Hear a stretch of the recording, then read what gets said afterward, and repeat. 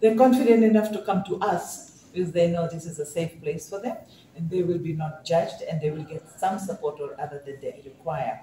But we're still having huge challenges with police. Women come to us when police, a lot of women come to us when police don't listen, don't treat domestic violence seriously. We have got pending rape cases, and also we have got uh, a new trend is the uh, Uh, technology facilitated violence, that's online violence and bullying and so on. We're seeing that also. So having a little, a lot of difficulty in law enforcement, and it doesn't seem to go away.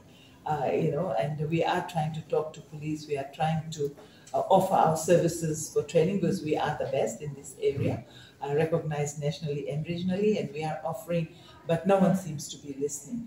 Uh, we have got some good officers that have been trained, that are doing good work, but on the whole, I would say our biggest challenge is uh, the, the law enforcement agency. You talked about training. I mean, have you done any training the previous years or this year with police? Look, we had a very good thing going prior to 2006. We had we have been always training police at the academy and at different you know at different levels, the qualifying levels, and so on. But all that stopped. But we have done in bursts and spurts, not regularly. And this year we have done only one, and that is uh, through the Office of the UN Human Rights Commissioner. So, and, and not like being called on our own to be able to do that. And that's about two hours. That's not enough. Because if you look at assault cases, the highest assaults are on women by men.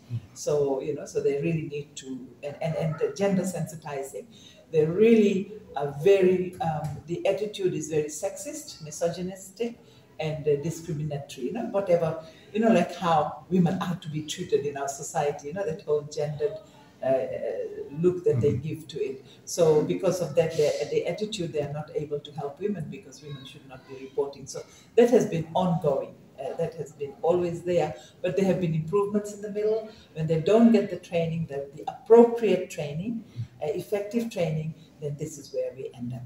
We've been complaining about police for the last 40 years. So